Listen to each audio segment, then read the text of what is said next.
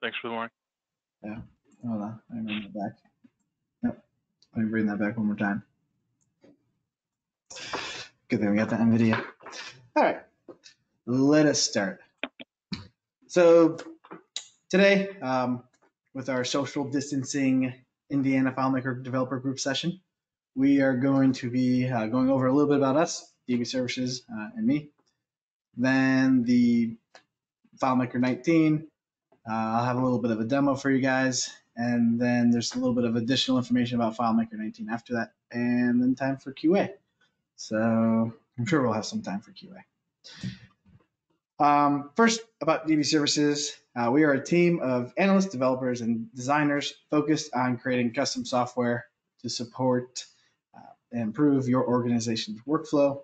Uh, we are a Platinum Claris partner, a three times Growth Partner of the Year, maybe four. We'll find out uh, if we have another DevCon.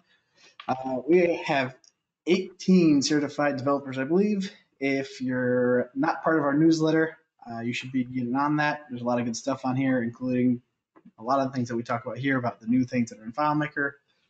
And once a month, we put out some good stuff out there. So make sure you are on our newsletter. And uh, if you want to learn any more, go to DB Services. You can check out the our website, and uh, there's more information there. Uh, me, myself, I am a technical project manager at DB Services. I'm certified in FileMaker 12 to 18. I've been with DB Services since 2013. I am a Purdue grad, and I am a recent first time father of this four month old boy, Logan. Uh, he smiles a lot, so it wasn't hard finding a picture where he is smiling. It's really hard to find the picture where he doesn't have spit up on him. So this was one of the best ones I could find that was recent. So um, he's pretty cute.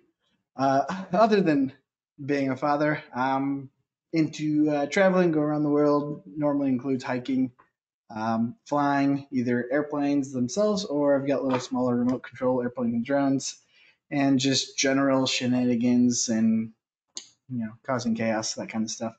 Um, so that's me.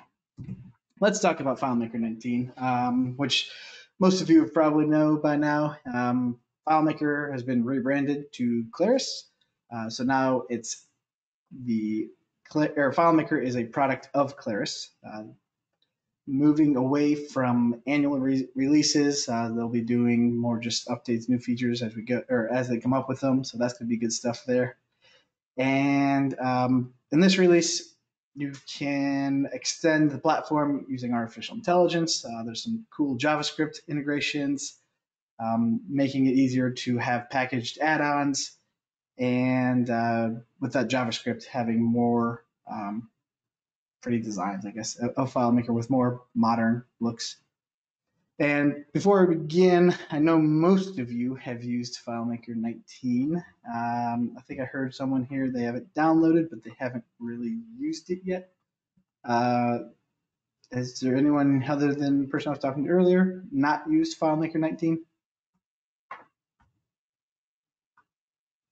Cool. Okay. Um, Okay.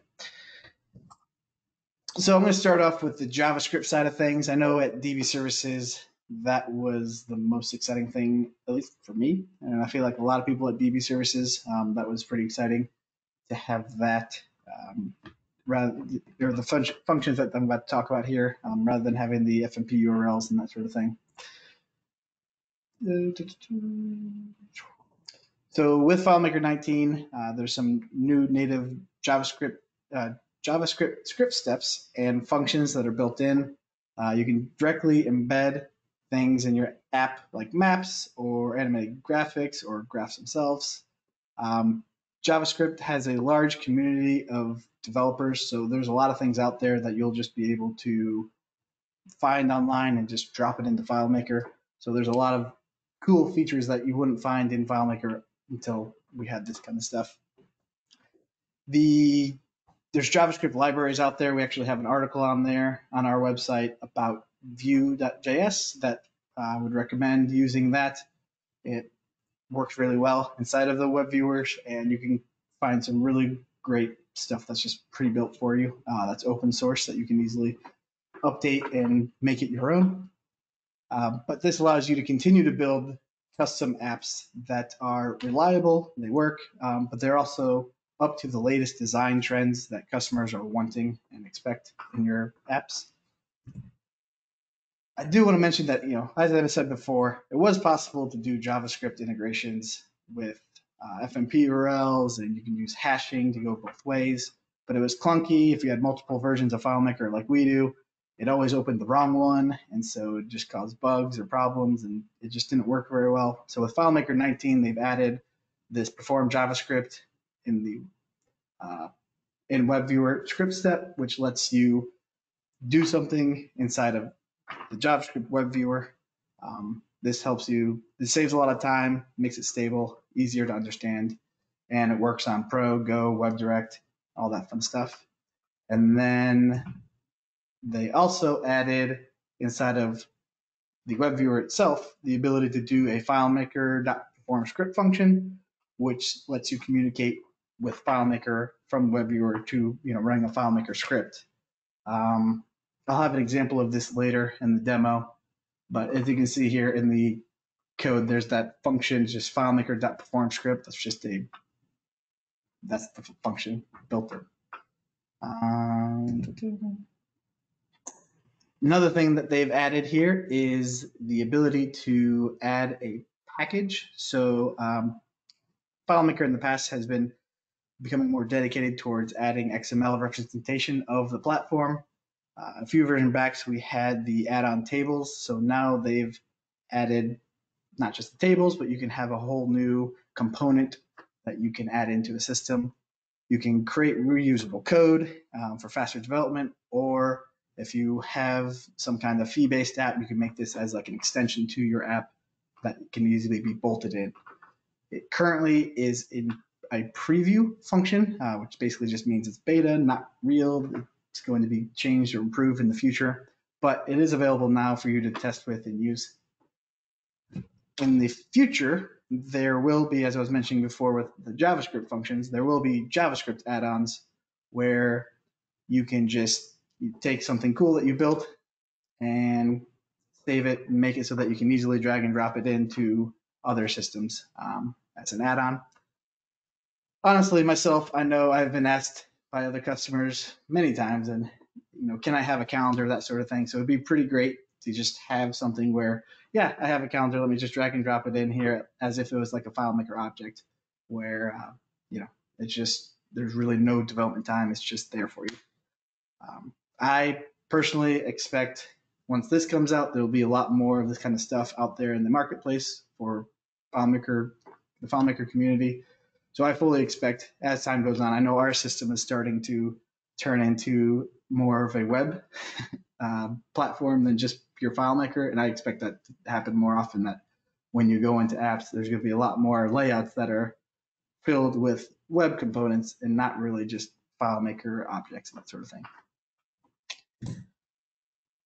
So um, FileMaker has also added a few things uh, for iOS and macOS to make your apps smarter. Uh, one of the main things that they added here is uh, integration with Apple's Core ML or machine learning um, framework that is, like I mentioned, for iOS and macOS, so it's not in Windows uh, or WebDirect or anything like that. So what this is, though, is just computers can now teach themselves to um, make more accurate predictions based on a model that you give them. Um, the model is something that exists out in the web, or you can create it yourself. But I would suggest just finding more, more than likely you'll be able to find some kind of model that fits the uh, the need that you have. Um, so I'll have a demo of a few things out there, um, of a few options that you can do, uh, where you know you get some feedback from a website or from an email or something like that. The you can put the text in and it can decide whether or not that was a, a, good email or a bad email. So you can decide if that needs to be something that a person needs to look at to figure out why that customer is complaining. Um, or you can ha- look at a picture and decide who wrote that, who, who uh, was the painter of that picture. Or uh, in this example here, uh, the person, you know, if you don't know, if you're like a warehouse or something, you don't know what part you're looking at, you can take a picture of that part, um, and then based on the confidence you can see in the in the on the right, it'll tell you what it thinks that is. So in this example here, it's pretty much 100% sure it's a fuel filter 33002. Um, so I know we've been, uh, this is something that I think is really cool, but uh, I don't know, does anyone have any examples or ideas of how you guys could use this in your systems?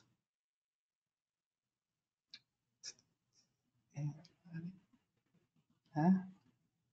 I know with uh, with myself, we have a customer who has a warehouse where they you know make parts. So this one to me makes sense to if you know keeping track of inventory. If you're if there is just like an open box, there isn't a barcode that they can scan. They can just take a picture and, and throw it into a bin or something, and that will allow them to keep track of their inventory a little bit better. But uh, I'll have a demo of a, a few other ideas that you can look at. So um, with the integrating with CoreML, um, there's a couple things that you would need. It's uh, you first need the ML file, and as I mentioned before, you can find a lot of this stuff online, so you don't have to try to make it yourself. Um, you need a container field for that file. Uh, there's a new script step with the configure machine learning model, and then a new function uh, with that compute model. And with all that together, as you saw on the previous slide, it spits out some JSON, which uh, gives you information on what it thinks it is and gives you a list of the you know percentage of confidence.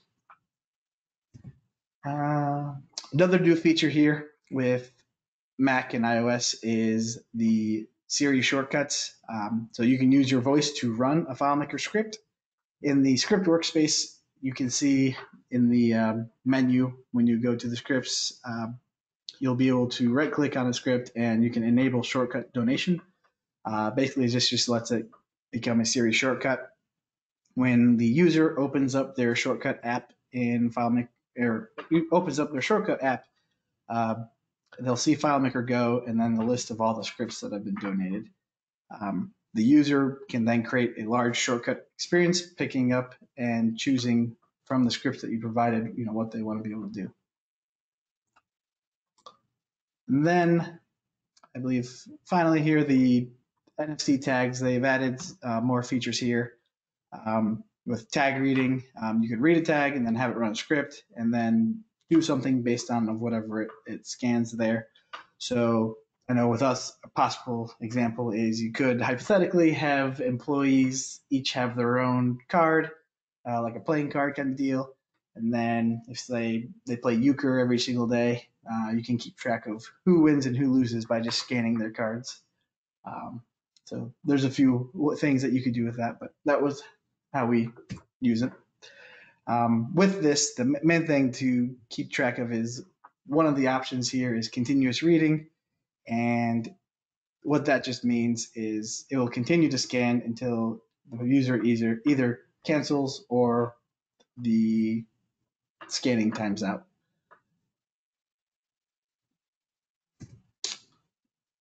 And finally, the thing that we've all been waiting to see, the page count is now something that uh, a function that is inside of FileMaker. Uh, you can put this inside of a print layout and it will give you the total number of pages. So in the past, you had could easily do page one of, but then you would have to uh, essentially go into preview mode, go to the last page, figure out what the page is, go back, set a variable, all that fun stuff. So now you don't have to do that. We got page count. Uh, we also now have supported cards in FileMaker WebDirect, which this also includes um, the adjust window for and remove size or remove move slash resize and uh, the new window script steps. We also have uh, in layout mode, we have the shortcut to be able to switch layouts by name, which is basically quick open. When you're in layout mode, if you hold on Windows, I believe it's Control Alt K, and in Mac it is Command Alt K. Yeah. Um, and what that just does, it kind of brings up the uh, kind of like the Finder window or the little box where you can type in the name of the layout and it'll do a drop down of give you options of the layouts that you can switch to and basically lets you switch the layout without having to open up manage layouts and open up a new window. So it makes it a lot easier just to switch between layouts while you're developing. Um, we also have the FM Solutions Upgrade tool. Uh, we have an article on this if you want to learn a little bit more about it. It is in preview, which again just basically means beta. Um, it lets you make updates to if a FileMaker system uh, by adding creating new sections into it. It still has a little bit of work to go, in my opinion, but that's why it is a preview or beta. But one day, hopefully soon, we'll be able to uh, insert patches and changes to a FileMaker system without having to port them manually. So it'll make it a lot easier for the development process. Uh, we also have the open a file when FileMaker Pro starts, which just basically means this was an XML option in the past, but now it is something that's just in the uh, user interface in FileMaker, uh, where you can just tell FileMaker that when you open up FileMaker, just open up this FileMaker right away, or uh, this database right away. Uh, let's see. We also have links to Claris Marketplace directly inside of the product, inside of FileMaker. Um, with server, startup restoration is off by default. I believe startup restoration is now classified as a preview or beta option. Um, so that's why it's not off by default. I know with FileMaker 18, it had some issues with some of our customers. So good thing that that's off by default right now. Um, create files. Uh, one thing that you can do that you couldn't do before is with FileMaker Cloud, you don't you no longer need to create the file locally and then host it, you know, upload it and host it to cloud. You can actually take a file or when you're wanting to create a file, you can actually just if you have FileMaker Cloud, you can directly just create that file on FileMaker Cloud without going through the creating it and uploading it to the cloud. And then finally, a couple Mac things. They added support for dark mode. Hooray, dark mode. Um, made it so that you can just drag and drop the installer on your hard drive and it automatically installs it into the applications folder and everything. And then lastly, added support for the HEIF image type. So I have a little bit of a demo here for you guys. Let me cancel that. While I get this pulled up.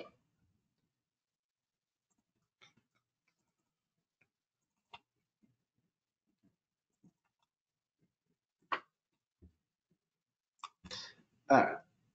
So the first demo I have is for the machine learning. There's a, a few things that you can do inside of here. Uh, the first one that I'm going to show is, we got two of them here uh, that I like. There's the first one, and again, all these um, models that you need can be found online. And in this demo here, they have the where you can get them off of. These were mostly off of uh, GitHub, it looks like. But uh, so with this one, this just tries to identify, you know, what the scenery that you're looking at. Um, so by us loading it in and running the model, this basically right here uh, runs that script step that we were looking at earlier, the configure machine learning, which basically says, okay, this one is a vision, just basically means that the image. Uh, we give it a name and then also the field, which is where the model is coming from. And then the compute model is what we are seeing here. Um, so we run the model here. It is 82% sure we're looking at a lakeside, lakeshore, um, and then it significantly drops to being maybe it's a dam, maybe it's a sandbar, uh, maybe it's a couple other things. Um, and a similar thing here with the age, you can uh, load it up and run the model. And this is again, this is another model that you can just find online and given a picture, it thinks that this person is between the ages of 25 and 32. Uh, it's 86% uh, confident on that, and then again, it drops down. Um, I did test this out with my own picture, and I wasn't too pleased with it. Uh, it thought I was 48, maybe 38, maybe 100. Um, it, it, thinks I'm more likely to be 60 to 100 than my actual age area, so I was. I guess it seems just, accurate. I seem like I'm a pretty old soul, I guess. so, ah, well, thank you, AgeNet. I appreciate it. Uh, but a couple uh, other things that I was saying that you could do in this example that they have, um, if you know, given some reviews here, if I go in here and I change this, so right now it thinks it's a positive, so yeah, it gives it a thumbs up that this was a positive review. If I go in here and say this is terrible, it uh, automatically, oh, uh, load it. Yeah, okay. It automatically looks at this and realizes, yep, this is not a good review. So, um, you know, you could implement this in parts of your system. Uh, if you have customer interactions or feedback, I know with us, we get uh, we get feedback, so we could possibly use this as a way of quickly identifying if someone is unhappy or not with our surveys. Uh, so there's the core ML. If anyone had any more questions on that, I can dive deeper. But then the other demo that I wanted to show is on the JavaScript side of things. And let me go ahead and just close this one. How long does it take to set up the core ML?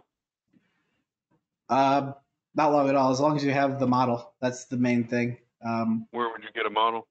so Apple has a website where they have a bunch of models, but uh, Google is also a great resource where if you, you just pull up Google and do a search on it, you'll be able to find a lot of uh, modeling options. But or you can do your And own and try to doesn't- teach it yourself. But And it doesn't work on Windows, correct? correct, this is only for Mac and iOS. So Maybe you said it, but what is a model? model is basically just a file that has all of the all of that machine learning and everything built into it. Like an algorithm? Yeah. Okay. No one, no one really understands it, Mike. Nah. Shit, I'm sure. it's magic. Why do you have to question magic, Mike? Where's Aaron? Exactly. Yeah, I, th- I think the idea is you have to have different models for different types of things. Yeah. Um, like whether it's image recognition or text recognition, you, it, it, you gotta, it, it has to be, the algorithm needs to be programmed in a particular way. yeah. If we if we look if I go back to here in this uh, example file I have for the machine learning, if I can find my mouse again, uh, each one of these has a different model that gets put into it. So it's not just one model. It's like if, if I want to be able to guess someone's age, I have to download the or I have to create or download someone else's model that they've put together for it. Which is just stored in a container, right? Yeah, yeah. Cool. Coolio. Um, with the JavaScript side of things, uh, as I was mentioning before, uh, there's just the two scripts here. You got the perform JavaScript in web viewer and FileMaker.perform script, which they essentially are just inverses of each other. Uh, one does something inside of the JavaScript, and the other one does something inside of the FileMaker JavaScript. So a simple example here, you got uh, some pretty short, simple code that this is generating this web viewer here, and this submit button runs this perform script on Java or this perform script from JavaScript, and then this update web viewer runs a script that then updates here. So both ways, if I change this to let's say whatever that is, I'm assuming that's eight or nine. If I hit submit, that then updates this to nine. Uh, if I wanted to change this back to one and click this, it updates the web viewer back to one. So this is this, a very simple rudimentary example of how it works, uh, just to show you that sort of thing. So all these can be changed. Uh, testing, I want to change this back to whatever that is, probably five-ish, and do that, and hit submit, and it's going to update all these things on that side. Um, the more pretty look is something like this, where again, top is a web viewer, bottom is FileMaker, and uh, you know we got these two graphs. This graph is completely driven off of the data that's inside of here. But if I click on here, I can make it automatically get myself in a found set of records for all the donations that are from that are a large donation or a medium donation or a small donation, that sort of thing. But if I go in here and change this, I can directly affect. Let's just make that a large, large number, so we can quickly see that those two are interacting with each other. There's no FMP URLs or anything clunky going on. These are just essentially two scriptings telling each other, hey, here's some information, do something with that. Hey, here's some information, do something with that. So um, a lot of this stuff, again, is open source. You can find open, open source stuff online for practically anything that you're looking for. Uh, and then go from there and make some really cool stuff inside of FileMaker. Any questions on that?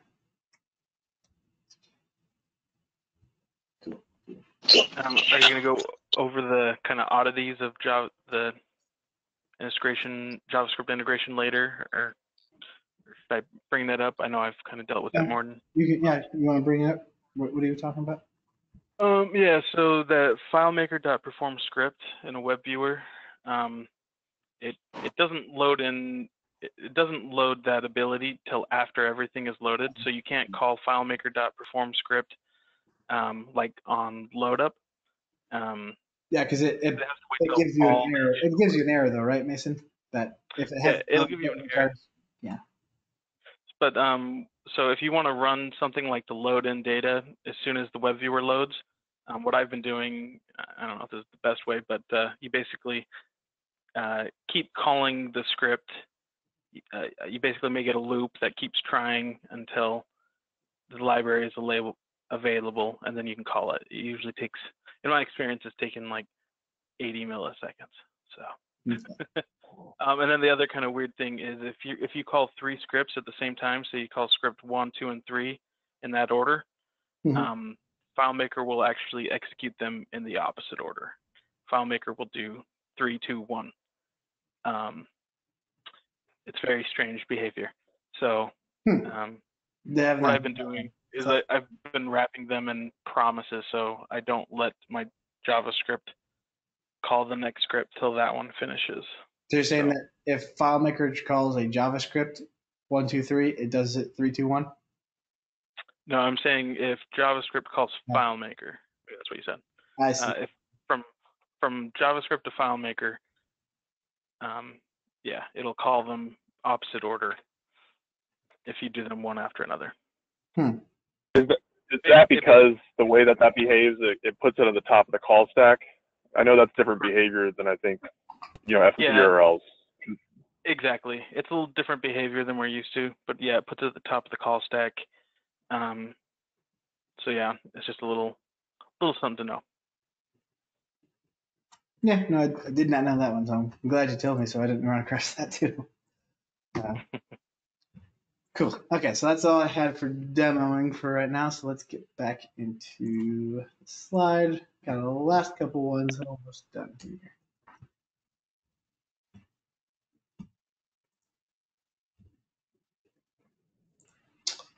All right.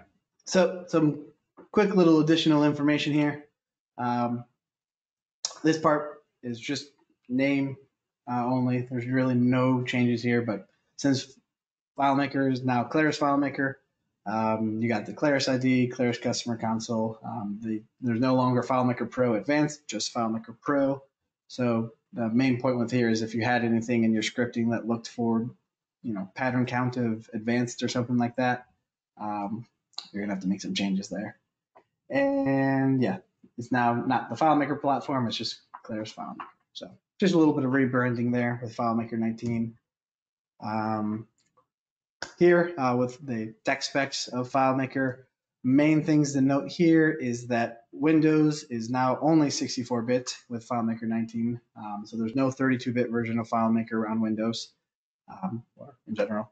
So that means, you know, anyone that's using Outlook or something, make sure you have, oop, hit the wrong button there.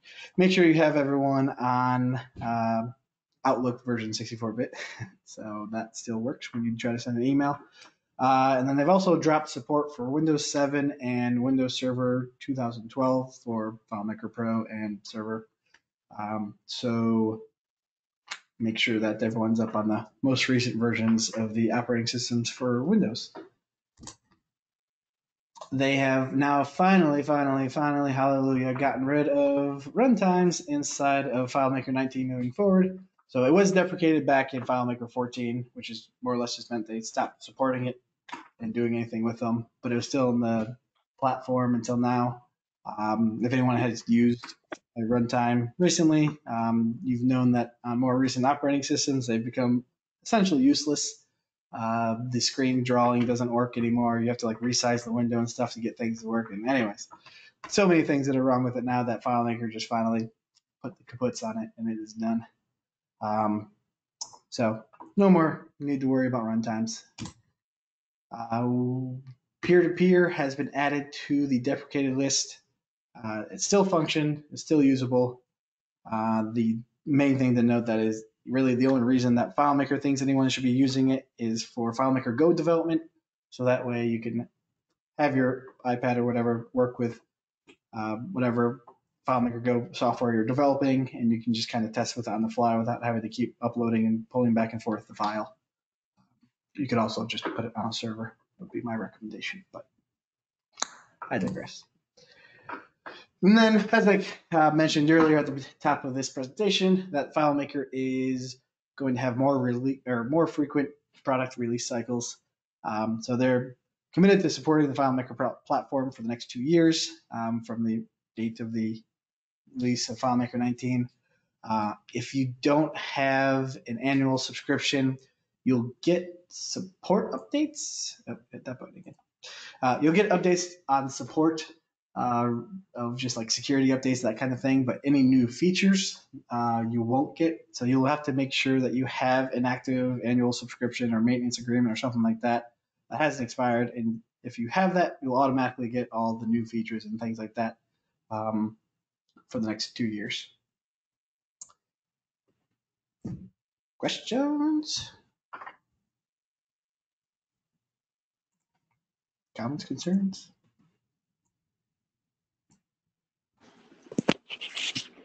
CentOS, yeah, they released a Linux version that's uh, uh, beta essentially, preview.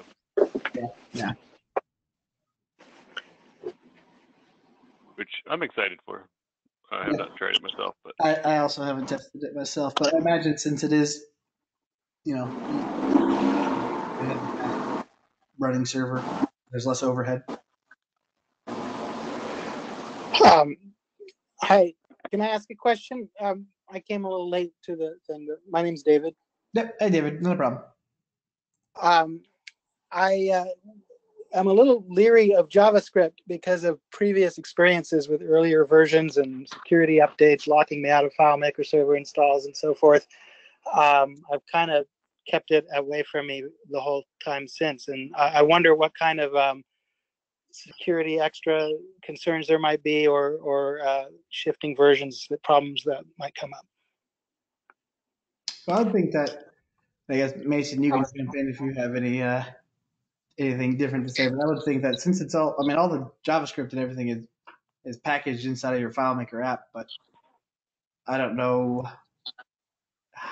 what I don't know if you are you talking about like the like the ActiveX ActiveX thing that sometimes pops up like on Windows that sort of security thing? I, I guess I don't know what security concerns you're, you're talking well, about. There were different versions of Java, and after certain updates to FileMaker Server, you couldn't use the old version oh. anymore. Oh. So that's, that's these kinds of Java. Yeah, so uh, uh, Java, Java and JavaScript are different in this context. I mean, oh, am I conflating the two? Okay, that's good. Yeah. Thank you. Yeah, so J- JavaScript is purely just a, a web developing scripting software or programming language that um, T- technically, it's yeah. Technically, it's called ECMAScript. It's not even uh, related. But uh, do, do you even require Java at all anymore for the server? Yeah, if you yeah, want to, yeah, yeah. Web, yeah. You have okay. to install. Uh, you have to install Open Java or pay for Oracle Java now because they no longer for web publishing. For web yeah. publishing, okay. I didn't know if it was still in 19. I hadn't tried. I haven't done that install yet in 19. It's not. It doesn't come with 19. Hey. Only for web publishing. Correct. Hey, Mason. Yeah. Would Linux, FileMaker Server on Linux, would it make it possible to then containerize FileMaker Server? Uh, I mean, I would assume so. Yeah. I don't know if there would be any benefits to doing that, but that becomes, I don't know if that's, you know, something that could be beneficial to some people, maybe verticals, I don't know. Yeah, I mean, it could. Um, I don't know. I'm still on the fence about whether it's worth it uh, so far all my experiences with uh, containers have been terrible. So. Oh, fair, fair enough. I just don't think I know enough. Um, But potentially. Cool. I think we're all just going to put our servers on Raspberry Pis now, right? That's the plan. Yeah. Got a mobile FileMaker server in my I mean. I, I mean, I do have like a uh, a quad quad core Raspberry Pi, so What are we waiting for? that could be our, our article next month, Mike. right. Well, I don't know if we we have access to the CentOS install yet. Yeah, we do, but Oh, we do. Oh, cool. yeah. Actually, I think it was a uh, any or at least anyone that has a developer subscription can get at. Well, it's, it's on our, uh, Cool. it's on the download page for like when you go to a download page, like download FileMaker 19 or anything like that. It's a list of options for server downloads. You got Mac, Windows. Yeah, they released Oh. it kind of as a as a public preview. Oh, I had no idea. Cool. Maybe that should be our next article. I want to know more about that. Yeah, it's just that being preview. I'm, you know, I wouldn't want to put it into a production environment, but it'd be nice to put it on like a dev server just to try it. Yeah. I mean, it's you install it and then you have the admin console. It's a server. Yeah. Oh, Brendan, did you go over any of the execute data API? Was that in your slideshow? It was not. I did not remember that. this is why we got That is one feature that I, I thought was dumb at first, but uh, I have since seen the light, and um, it's gonna it's really useful for uh, some of these JavaScript uh, integrations. Um, it makes it really easy to query the database without leaving the layout. It gives you all the data back in a nice JSON format, yeah, um, and it also lets you purpose query. is basically making everything context independent from the JavaScripting side of things. Exactly. So it actually makes it really nice to be able to do that. And that'd, make it easier- um, that'd make it easier that when FileMaker makes an add-on version of JavaScript stuff, that would make it easier as an add-on, right? Because it doesn't it doesn't really matter where. doesn't doesn't matter where you place it. Yeah. Yeah. Um, and then uh, it also has a couple additional abilities. Uh, I don't know if they were formally documented, but uh, you can query layouts to get uh, metadata. Um, you know, figure out what fields are on layouts, stuff like that, and get uh, value lists. So it's kind of cool. I should add that stuff too. The slides. And and the file. Did you have the file path conversions? Oh, forgot that one too. uh, In my defense, some. Uh, FileMaker told me what the important stuff was, and apparently FileMaker didn't consider those important. I think they're important. Uh, yeah, there's there's new commands that let you convert file paths from FileMaker to um, whatever version, like to a, a Mac version of a file path. They also have the ability to change uh, a FileMaker path to a file URL path, which lets you use, like in a in a web viewer, if you like exported a file to the temp drive, is like let's say you exported your your JavaScript to the temp drive, Mhm. um, you take the URL that you get, you know, that you exported it as, and you convert it to um, a file URL path. So Okay. you do like file colon slash slash and then all of that, um, and then you can use JavaScript from your temp drive um, pretty easily. So that was another trick I'm, I learned recently. So, Cool. I think that's I think that's the last cool feature I know. So Cool. Anybody else? Fortunately, we don't have pizza or anything to share. I'll I'll go make some. I guess we can sit around the campfire and I can pass them out as long as we're six feet apart. All right. All right. Well, no one else has any questions? No. Be good. Is anyone doing any JavaScript? Has anyone got any JavaScript cool stuff planned? Any Kanban boards, calendars, anything?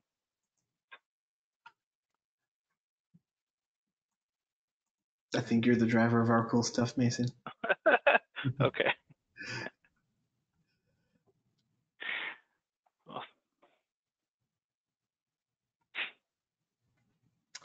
All right, uh, thanks, Brendan. Yep, thanks, guys. Um, I think we'll be uploading the video if anyone came in later, missed anything. Um, we'll be adding this to YouTube or make it accessible in some way. So, thanks, everybody. Have a good one.